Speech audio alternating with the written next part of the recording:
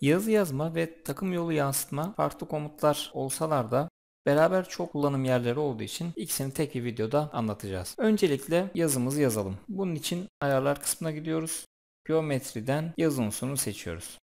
Burada yazı tipi olarak vektör ve true type var. True type seçersek çift çizgi olarak yazımızı yazabilirim ve burada normal Word'deki bütün yazı tiplerini görebilirim. Eğer vektör seçersem de tek merkezden tek bir yazı olarak görebilirim. Yazı yazmak için yazıdaki düzenle kısmına giriyorum ve burada yazmak istediğim yazı yazarak tamam diyorum. Yazı tipi olarak da Buradaki yazı tiplerinden kendime uygulanan yazı tipini seçebilirim. Çizgi boşluğu, çizgiler arasındaki boşluk, genişlik, yazının genişliği, açı da yazının duruşu. Burada dik durması için 90 derecelik bir açı veriyorum.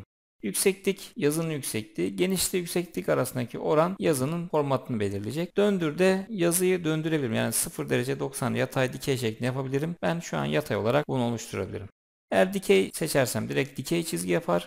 Dörtgeni sığdır seçersem benden iki nokta isteyecek o iki nokta seçeceğim. Yazı o iki nokta arasında kalacak. Aynala komutuyla da yazıyı aynalayabilirim uzunluk ve yüksekliğe göre. Böylece özellikle kalıpta ters gözükmesi gereken yazıları bu şekilde yazabilirim. Şimdi yazımı yazdıktan sonra ölçüye girdikten sonra tamam diyorum. Yazının konumunu soruyor. Ben göz kararı herhangi bir yere bu şekilde yerleştirebilirim. Yazım oluştu. Bazı düzenlemeler yapacağım. Öncelikle italik seçmiştim. Onu değiştirmek istiyorum. Bunun için yazıya çift tıklıyorum ve bunu standarda alıyorum. Yazının boyutu çok büyük. Küçültmem gerekiyor. Tekrar çift tıklayarak genişliği ve yüksekliği eşit oranda küçültebilirim. Biraz daha küçültelim. Şimdi yazımın formu tamam ama konumu yanlış. Konumu düzenlemek için de düzenledeki taşı komutunda noktadan noktaya diyorum. Çizgiyi seçiyorum. Sağ tuş.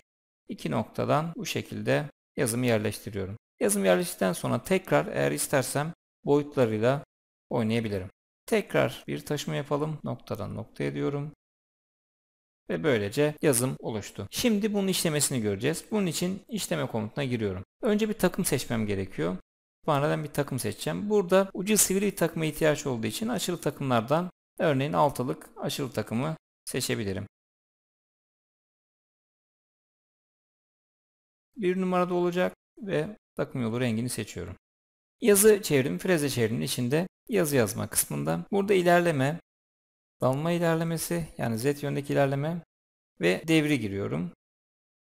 Toleransı giriyorum. Derinlikte de emniyet mesafesini, geri çekilme mesafesini ve başlangıçta toplam işleye derinliğe giriyorum. Eğer düz bir yüzey üzerinde işleyeceksem buradaki başlangıç değeri 0 girip derinlik kaçsa eksi 10, eksi 20 o değeri girebilirim. Ancak ben eğer yazının takım yolu oluştuktan sonra yüzey yansıtacaksam buraya 0'a 0 yazarak direkt 0 konumunda yazı yazmaya sağlayabilirim. İşlem sonunda da dipte mi kalsın, geri çekilme mi çıksın, emniyet mesafesini çıksın diyor.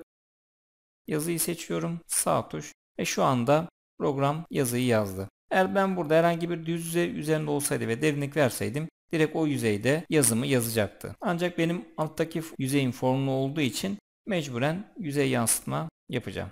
Şimdi ikinci komut olan yansıtma komutunu görelim. Takım yolu yansıtma komutunu uygulayabilmek için mutlaka bir tane takım yolunun oluşmuş olması gerekiyor. Biz şu anda bir yazı işlemi oluşturduk ve yazıyı yansıtacağız.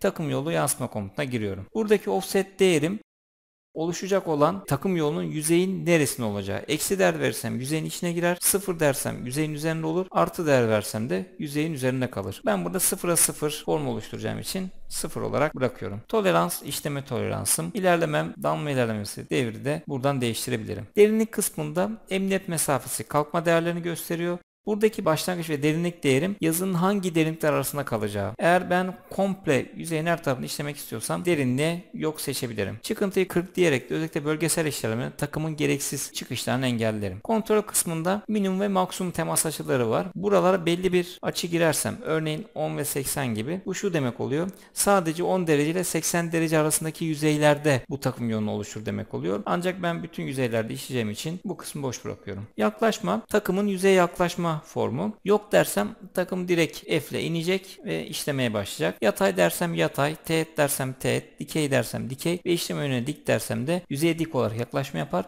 Bu dördü için açıyla yaklaşmam, yarıçap, radius yaklaşma ve belli bir uzunluktan mesafeden yaklaşma girebilirim. Özellikle yarı çapla gireceksem mutlaka açıya girmem gerekiyor. Giriş çıkış aynı komutunu seçmezsem çıkış için farklı değerler verebilirim. Bunu seçtiğim takdirde ise giriş ve çıkışta aynı değerleri kullanacak.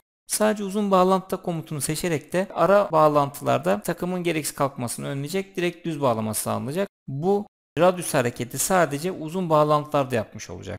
İlerleme yüzdesi de takım malzemeye girerken normal ilerlemenin yüzde kaçıyla yaklaşsın seçeneğim 50 yazdığım zaman %50 yani yarısıyla yaklaşmış olacak. Ben burada yok diyebilirim. Yok dediğimde takım dik olarak zaten inecek ve işleme yapacak. Bağlantılarda ise özellikle çoklu pasolarda bu kullanılacak. Burada belki çok fazla işimizi görmeyecek. Kısa bağlantı mesafesi. Buraya kendim bir değer giriyorum. Eğer bağlantı mesafem bu değerden kısaysa düz basamak veya yumuşak bağlantı yapacak. Uzunsa Optimize seçersem güvenlik mesafesine kalkarak gidecek. Emniyet mesafesini seçersem de denet'te girdim emniyet mesafesine kalkarak bağlantı yapacak.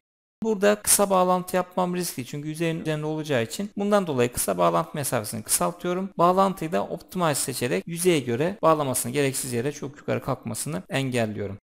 Tamam dedikten sonra işlenecek yüzeyi soruyor. Burada ben parçayı seçiyorum. Sağ tuşa basıyorum. Ve böylece takım yolumu direkt yüzeye program yansıtmış oldu. Bunu bir simülasyonla izleyelim. Durdurup elle de götürebilirim. Ve bir de kat simülasyonunda görelim. İlerlemeyi kısalım ve başla diyelim.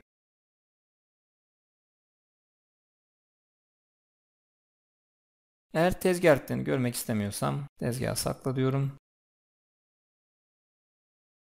Ve böylece yazımızı yüzeye yansıtmış olduk.